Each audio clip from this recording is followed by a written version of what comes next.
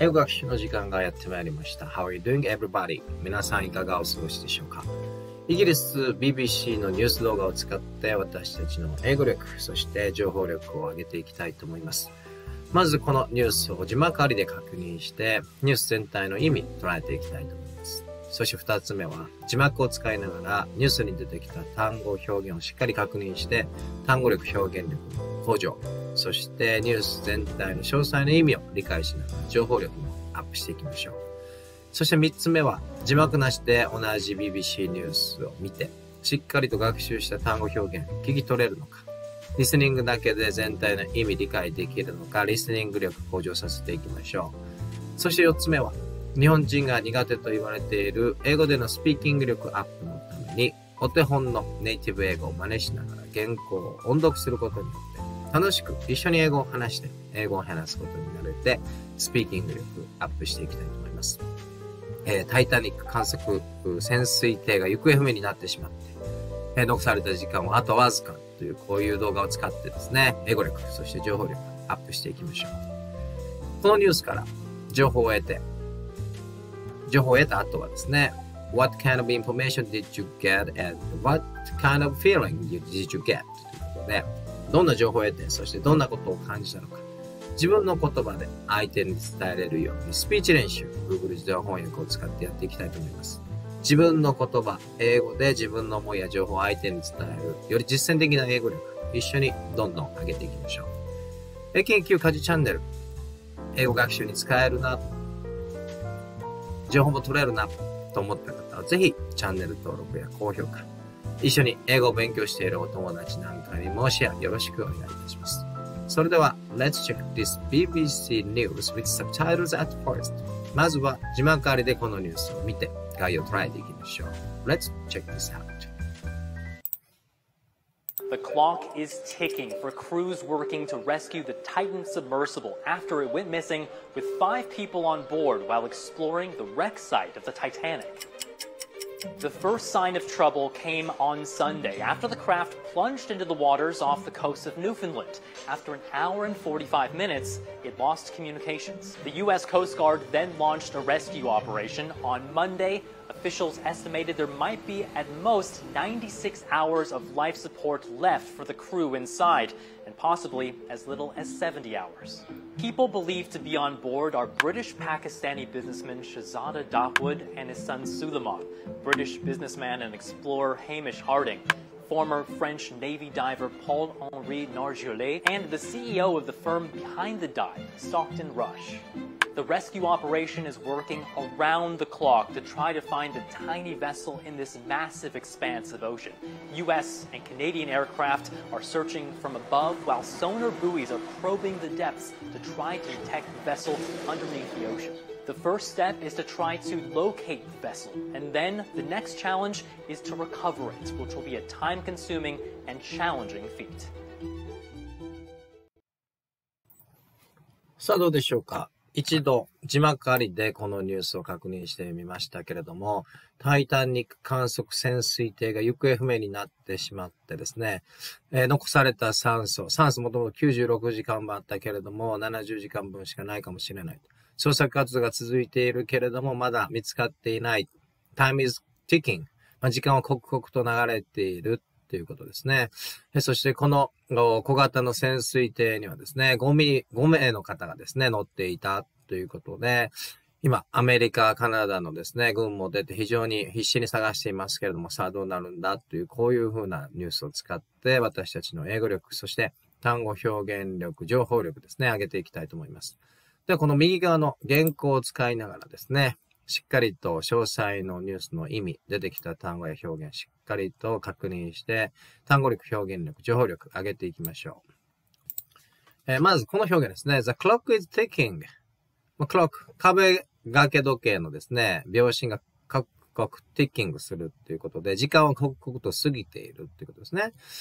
Uh, for crew working to rescue the Titan submersive after it went missing with five people on board ということで、えー、タイタニック船のですね、レクサイト。まあ、沈没したタイタニックをエクスプローラー。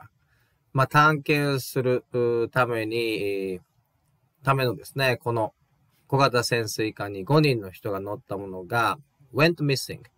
行方不明になった後ですね。えー、この潜水艇を見つけようと一生懸命頑張っているレスキューチームに残された時間ですね。clock is ticking 少なくなってきているということですね。えー、では覚えておきたい単語表現。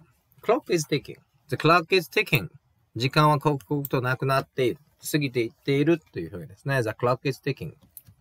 えー、そして、rescue。救助するという意味ですね。えー、そして、submersible ですけども、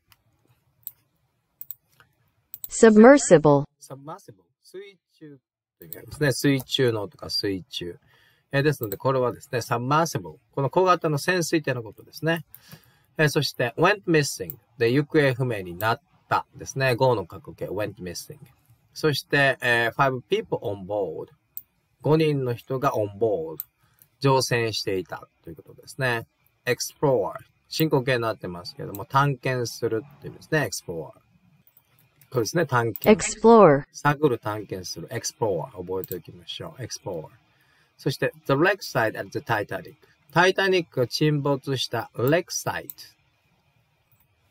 wreck site, えー沈没現場ですね。タイタニックが沈んでいるところですね。wreck site。wreck site, このあたりの単語表現を覚えておきましょう。では次ですね、見ていきたいと思います。この部分ですね。えーこの部分ですけれども、the first time travel, the first time travel, まあ、最初のトラブルの兆候というものは日曜日だったということで、after the craft plunged into the water of the coast of Newfoundland, ニューファンドランド島沖で、このお小型潜水艦が plunged into、まあ、水に入っていったということですね。plunge into。こうですね。飛び込むっていう表現ですけれども、plunge into, 水に入っていった後に、まあ、起こったっていうことですね。えーそして、after an hour and 45 minutes。1時間45分後ですね、after に it lost communications。通信が途絶えてしまったと。そして US Coast Guard。アメリカのですね、湾沿岸警備隊が launch というのを開始するですね。開始した。 rescue operation Monday。月曜日に、救助活動を launch と開始した。ということですね。えーそして、この部分ですけれども、えー、officials estimate ということで、関係者の見積もりによるとですね、there might be at most 96 hours of life support left for the crew inside. 乗船している人たちの life support left. life support というのは酸素ですね。酸素。most 96 hours.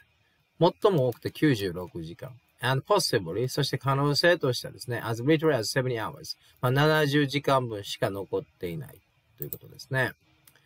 えーですので、えー clock is ticking. 時間がどんどんなくなっている。早く救助しないと酸素がなくなって、乗船している5名が亡くなってしまうという、こういう事故が起こっているということですね。えーここで覚えておきたい単語表現ですね。the first sign of trouble. sign.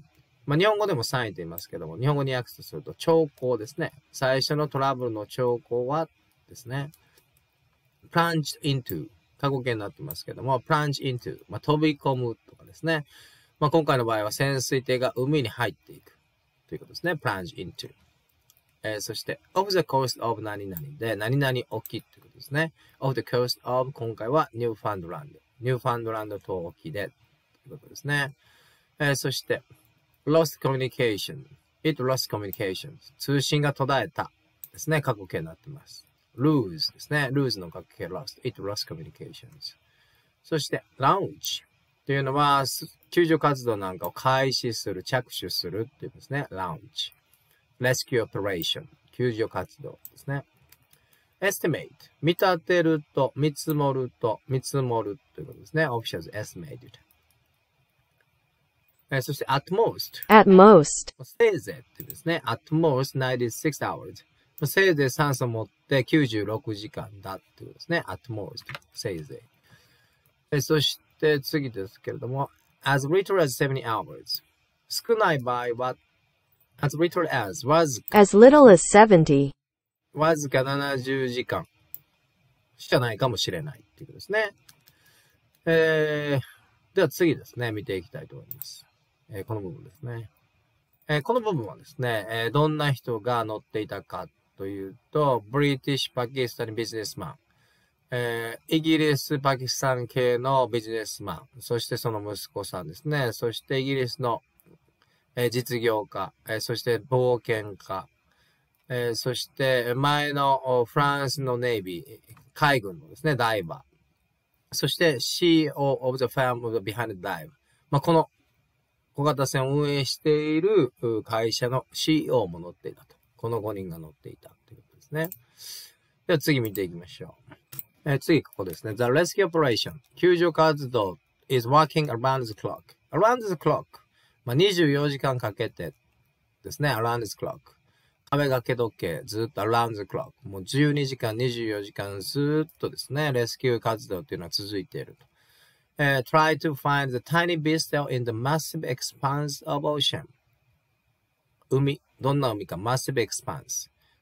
広大に広がっている大きな海で tiny beastie。tiny 小さいですよね。この小さい、乗り物を探すためにですね、24時間体制で救助活動を行われているということですね。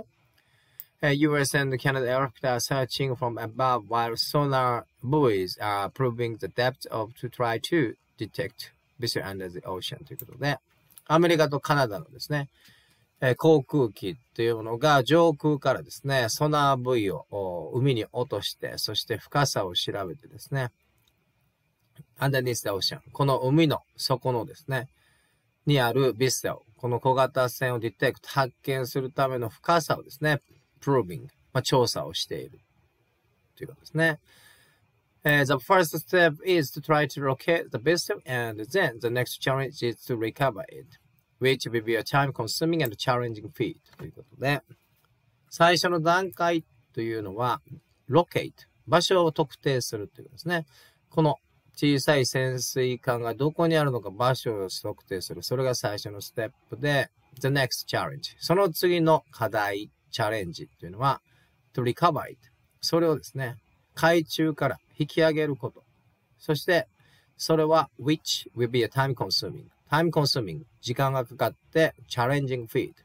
challenging。まあ、難題の難しい feat。feat というのは、feat これですね。feet, 異業とかですね、功績とかゲート、こんな意味がありますね。feat。feet, チャレンジングフィート。まあ、難しい挑戦、仕事になるということですね。まあ、見つけても深い海から限られた時間の中でですね、救い出さなければいけないので、非常に難しいミッションであるということですね。では、ここ、覚えておきたい単語や表現ですが、around the clock。24時間体制でということですね。休まず、around the clock ですね。えー tiny。小さいという意味がありますね。tiny vessel。小さな乗り物ですね。vessel。そして massive。巨大なとか広大なですね。そして expanse of。expanse。広がることですね。expanse of ocean。広大に広がっている海でですね。in this massive expanse of ocean。その小さな乗り物、ビッセルを見つけるのは非常に難しいということですね。えーそして、ソナーブイズというのは、あ海中を探すソナーのことですね。そして、proving。prove。probe, probe。probe, probe ですね。probe。調査する。ですね。probe。probing ですね。The depths。深さですね。probing the depths。detect。発見する。ですね。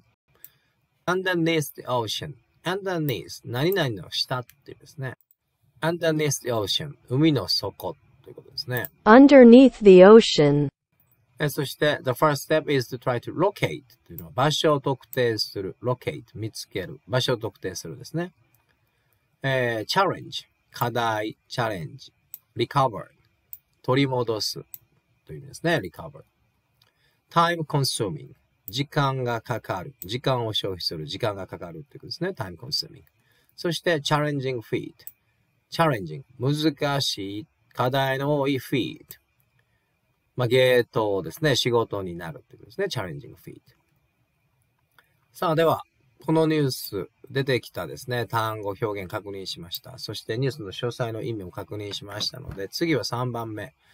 字幕なしで、このニュースをもう一度見てですね、今学習した単語、表現しっかりと聞き取れるのか、意味を覚えているのか、えーそして字幕なしでですね、えーブリティッシュ英語、えー早いですけども、しっかり聞き取って、えリスニングだけで意味が理解できるのかチェックしていきましょう。So let's try to understand every detail of this news without subtitles. Let's try to understand it only by listening English. Let's practice. The clock is ticking for crews working to rescue the Titan submersible after it went missing with five people on board while exploring the wreck site of the Titanic. The first sign of trouble came on Sunday after the craft plunged into the waters off the coast of Newfoundland. After an hour and 45 minutes, it lost communications. The U.S. Coast Guard then launched a rescue operation. On Monday, officials estimated there might be at most 96 hours of life support left for the crew inside, and possibly as little as 70 hours. People believed to be on board are British Pakistani businessman Shahzada Dawood and his son Suleiman, British businessman and explorer Hamish Harding, former French Navy diver Paul Henri Nargeolet, and the CEO of the firm behind the dive, Stockton Rush. The rescue operation is working around the clock to try to find a tiny vessel in this massive expanse of ocean. U.S. and Canadian aircraft are searching from above while sonar buoys are probing the depths to try to detect the vessel underneath the ocean. The first step is to try to locate the vessel, and then the next challenge is to recover it, which will be a time consuming and challenging feat. さあ、どうでしょうか。 字幕出して、えーこのニュースもう一度見てみましたけれども、学習した単語、表現ですね、しっかりと聞き取れましたでしょうか。えーそして日本語の意味もですね、しっかりと覚えてましたでしょうか。えーそして字幕なし、英語のリスニングだけでですね、全体の意味をしっかりと理解できましたでしょうか。英語と一言で言ってもたくさんいろんな種類がですね、何十億人という人たちで、この地球上でいろんな英語を話されてますので、たくさんいろんな英語を聞いて、そのスピード、アクセント、リズム、発音なんかに慣れてですね、リスニング力をアップして、関連する単語や表現もしっかり覚えてですね、英語力どんどん向上させていきましょう。それでは次はですね、4番目、音読練習行ってみたいと思います。日本人、英語を話すのが苦手と言われがちですけれども、どうしてもこの海に囲まれた島国日本に住んでいるとですね、英語を話す機会っていうのはほとんど普通はないと思います。えーですので、使わないとですね、やはり向上しませんので、家で気軽にできる音読練習をしながら、実際に英語を話す練習をして、訓練をして、スピーキング力一緒に上げていきましょう。やり方は非常に単純でですね、この左側のお手本の今回はイギリス英語ですね。まず集中して聞きます。そしてその音やリズム、反応ですね、しっかり集中して聞いた後、そのお手本を真似して、この右側の原稿を、次は自分たちで音読する。この練習を繰り返すことによって、実際に英語をたくさん話しますし、お手本を真似していますので、確実に、えー自分のですね、口から出た英語の発音や、えーリズム、間ですね、アクセント、そういったものがどんどん向上していきますので、たくさん楽しく英語を話していきましょう。それでは、Let's try to speak in English out loud to try to become fluent English speaker. Let's practice it. The clock is ticking for crews working to rescue the Titan submersible after it went missing with five people on board while exploring the wreck site of the Titanic. では、今この部分ですね、聞きましたので、お手本を真似して音読いきましょう。 The clock is ticking for crews working to rescue the Titan submersible after it went missing with five people on board while exploring the wreck site at the Titanic. では次ですね、この部分、左側のお手本英語を集中して聞いた後、真似て音読していきましょう。 The first sign of trouble came on Sunday after the craft plunged into the waters off the coast of Newfoundland. After an hour and 45 minutes, it lost communications. The U.S. Coast Guard then launched a rescue operation. On Monday, officials estimated there might be at most 96 hours of life support left for the crew inside, and possibly as little as 70 hours. ではこの部分行きましょう。 The first sign of trouble came on Sunday after the craft plunged into the waters of the coast of Newfoundland. After an hour and 45 minutes, it lost communications. The U.S. Coast Guard then launched a rescue operation on Monday. Officials estimated there might be at most 96 hours of life support left for the crew inside, and possibly as little as 70 hours. では次ですね。この部分行きましょう。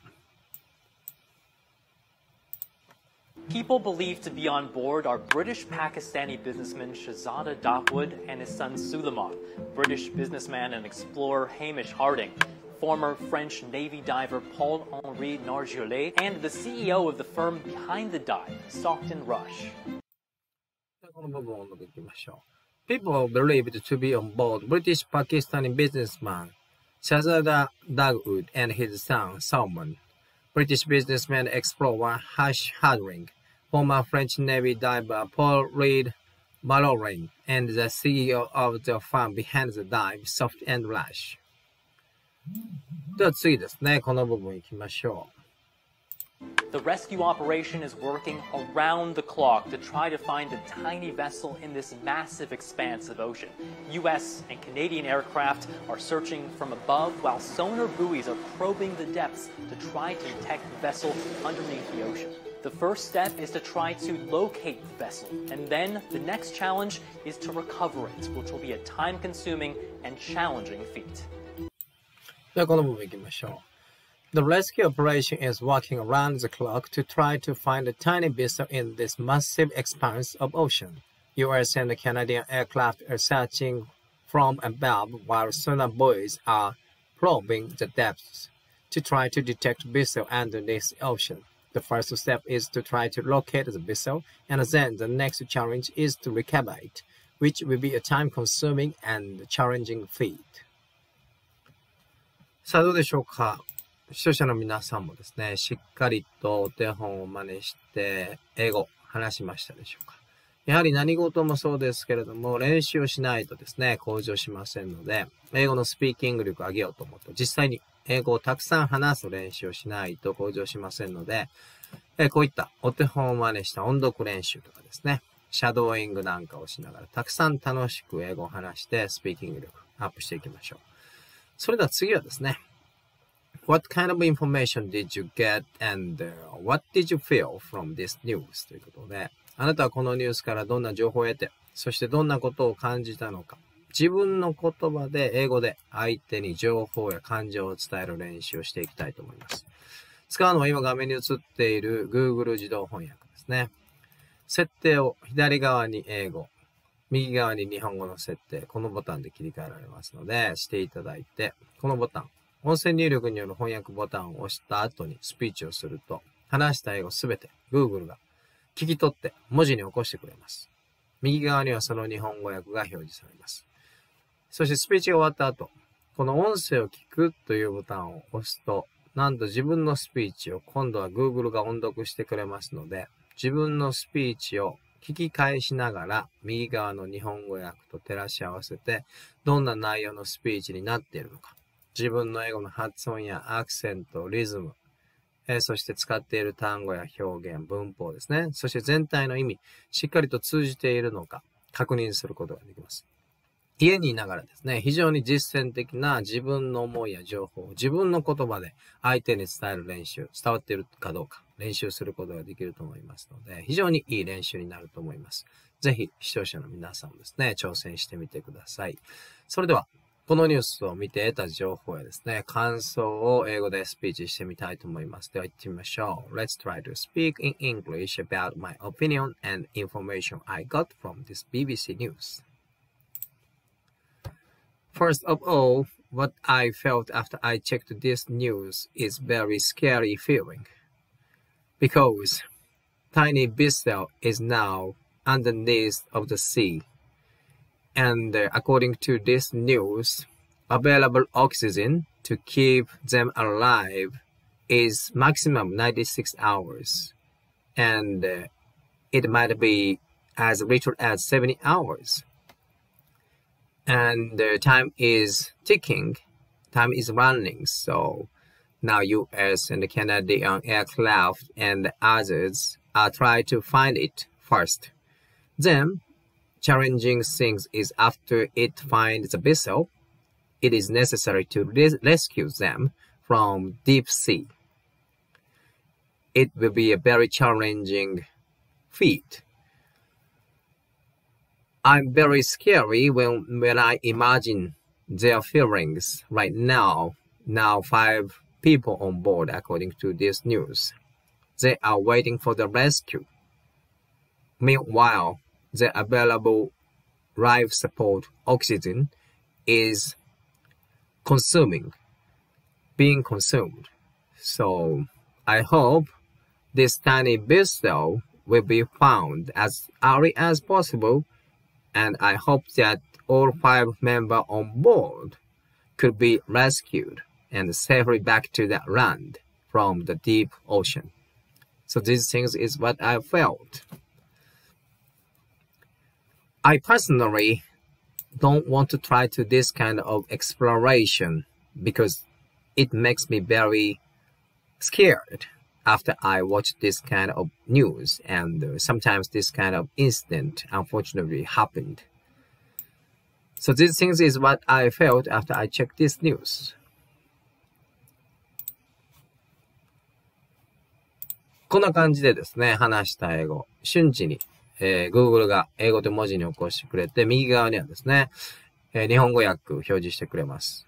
そしてスピーチが終わった後、このボタンですね。音声を聞くというボタンを押すと、この左側の自分のスピーチを今度は Google が音読英語でしてくれますので、自分のスピーチを聞きながら、右側のですね、日本語訳と照らし合わせて、自分の発音、しっかり通じているのか、アクセント、ま、えー、そして、えー、文章全体の意味とかですね、使っている単語や表現、しっかりと相手に通じているのか確認することができます。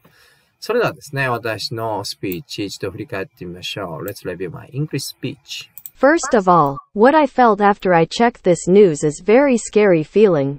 Because Tiny Bissell is now underneath of the sea.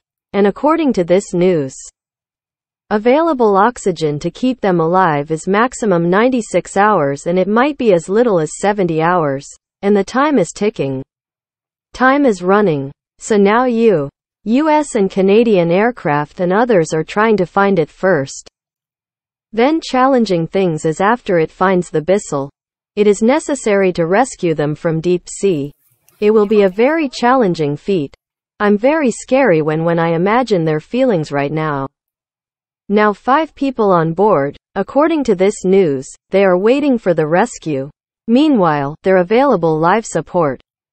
Oxygen is consuming being consumed. So I hope this tiny bits though will be found as early as possible and I hope that all five member on board could be rescued and safely back to that land from the deep ocean. So these things is what I felt. I personally don't want to try to this kind of exploration because it makes me very scared after I watched this kind of news and sometimes this kind of incident unfortunately happen. So these things is what I felt after I checked this news. こんな感じでですね、自分のスピーチをですね、今度は聞きながら日本語と照らし合わせて振り返ることができますので、自分の発音の苦手なところとかですね、えー、単語や表現、 そして意味がわからなくなっているところ、通じていないところとかですね、えー、どういうところが発音として苦手なのか、そして話している間とかですね、えー、そういうところもしっかりと確認することができます。復習することができます。そして復習した後はですね、次のスピーチに苦手な部分を克服して練習した後にもう一度チャレンジするという、この練習の繰り返しで、どんどんどんどんですね、実践的な自分の思いや情報を英語で相手に伝えるという力がぐんぐん伸びていくと思いますので、ぜひ視聴者の皆さんもですね、トライしてみてください。それでは、左側の英語ですね、少し手直しをして、私の感想、そして得た情報としてまとめておきたいと思います。こんな感じで左側の英語を修正してみました。参考に見てみたいなと思う方は、動画一時停止ボタンを押して確認いただければと思います。皆さんもぜひですね、最初は短くてもいいので、自分の思いをですね、相手に、えー、しっかりと英語を話して伝える練習してみてはいかがでしょうか。えきっとですね、この練習を続けることによって、より実践的な英語力、どんどん向上していくと思います。いかがだったでしょうか？今回の時事ニュースで英語学習ですけれども、BBC のニュース動画を使って、いかがだったでしょうか？今回の動画。えー、タイタニック観測潜水艇がですね、海の深くに沈んで、えー、Lost Communications ということで、通信が途絶えてしまって、残された酸素の量もどんどん少なくなっていく。Time is running, time is ticking ということで、こんなニュースを使って私たちの英語力、そして情報力アップしてみました。引き続き、英語力アップ、情報力アップにつながる動画を上げていきますので、ぜひ、いいなと思った方は、英研究家事チャンネルのチャンネル登録、高評価、そして一緒に英語を勉強しているお友達へのシェアなんかもよろしくお願いいたします。一緒に英語力、情報力どんどん高めていきましょう。Thank you so much for watching my video till the end. I hope you enjoyed this video and we could learn new English vocabularies and expressions and we could expand our information knowledge from this video as well. If you think my channel, AK Kaji channel, is the best way, good way to learn English, please subscribe my channels and share with your friends. Thank you very much for watching. Have a good day and goodbye.